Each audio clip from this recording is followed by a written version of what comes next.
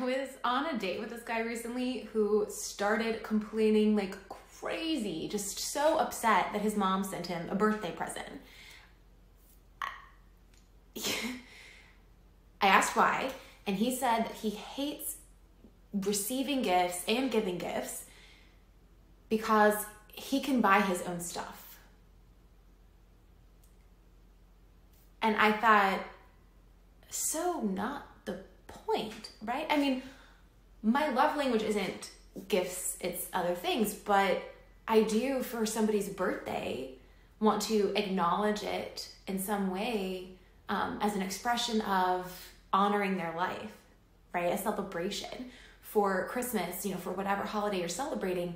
The gift isn't about the stuff in and of itself, it is an expression of your relationship, of taking a moment to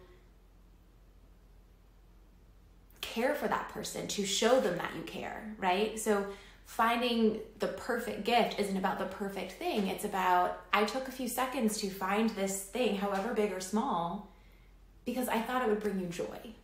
And you deserve that joy. What is gift giving for you?